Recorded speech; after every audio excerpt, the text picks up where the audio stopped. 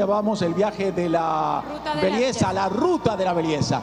Vamos a ver otro de estos videos de la ruta de la belleza.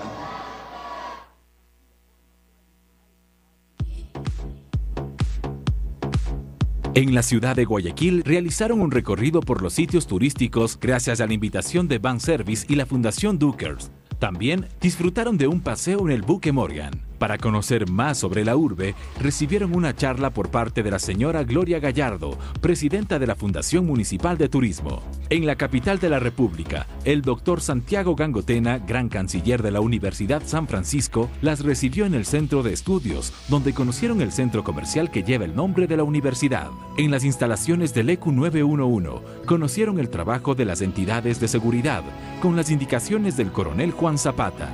Uno de los momentos más emotivos fue cuando la candidata de Quito, María Gloria Dávalos, y la reina de esa ciudad, Carolina Báez, integraron a las candidatas al proyecto social de la Fundación Sonrisa en el hogar de niños San Vicente Paul. Joyería Quintero, con su principal, Cristian Quintero, diseñó el logo con motivo de los 60 años de que se realiza Miss Ecuador en nuestro país. Asimismo conocieron el Duster Renault, que recibirá la ganadora de Miss Ecuador, que fue presentado por el gerente general Luis de los Reyes y Nicolás Espinosa, presidente corporativo de automotores y anexos. Las telas del vestuario de gala que lucirán las candidatas las seleccionaron en almacenes Mil Colores, donde la cortesía de su propietaria, Beatriz Aguirre, facilitó este arduo trabajo para escoger la textura ideal para sus trajes. La agenda en la capital de la República fue muy amplia y finalizados los compromisos, se trasladaron a la ciudad de Riobamba, la de los Andes. Estuvieron hospedadas en la hostería Bambú, como paso en su traslado a la ciudad de Cuenca. Las autoridades del municipio, así como la Fundación para el Turismo de Cuenca, las nombraron promotoras turísticas de la Atenas del Ecuador. El diseñador Francisco Vanegas, que coordinó esta amplia agenda, se lució con el desfile de trajes típicos por las principales calles de la ciudad. Los sombreros de paja de Homero Ortega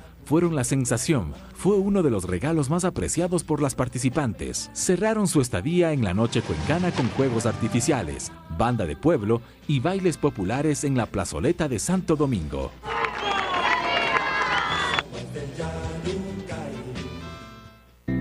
Soy el doctor Ricardo Vargas Díaz, cirujano plástico. Pertenezco a la organización Miss Ecuador. Mi nombre es Gisela Quesada. Estoy muy agradecida con pertenecer a la organización del Miss Ecuador.